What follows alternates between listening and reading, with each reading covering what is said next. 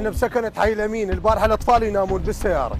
تسع ساعات كهرباء ماكو. أقسم لك بالله ورسوله منيم عائلتي بالسيارة.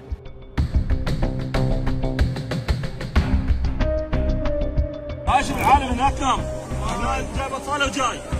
ماشي ياب جاي حتى نقع الشباب إلى متى سعد تعال والله عيب عليكم يصير بالكهرباء. اليوم وباكر صار شيء يصيح يعني ما تسمعون ما تخجلون يرضى مصطفى مصطفى الكاظمي هاي الوضعية؟ يقبل يقبل عائلته تنام بالسيارة؟ أشغل تبريد بالسيارة وانيم أطفالي وعائلتي. من يقبلها يا ضمير؟ يا شريف بالحكومة العراقية يقول أنا شريف خلي يسوي مثل هاي الحالة. ودي قالوا ظل ببيوتكم كورونا والله نبي بيوتنا يا ظل ببيوتنا نريد كهرباء مو نموت من الحر هميان عن شهاي